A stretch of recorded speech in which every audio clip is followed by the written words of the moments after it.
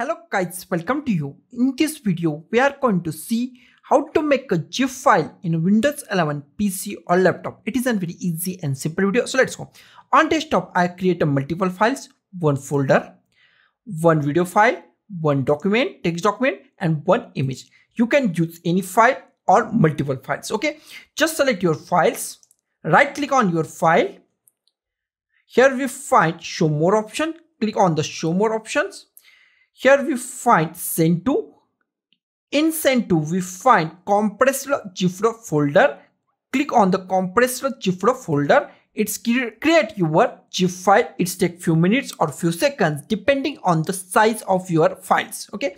Now you can rename it with any name. I just give the new files. You can give any name and click at here. Just double click on it and here we find all files that created on this ZIP file.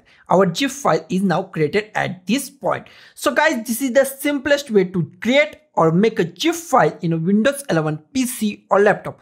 So guys, thank you for watching this video. Don't forget to like, share, comment on this video and don't forget to subscribe the channel. Thank you guys.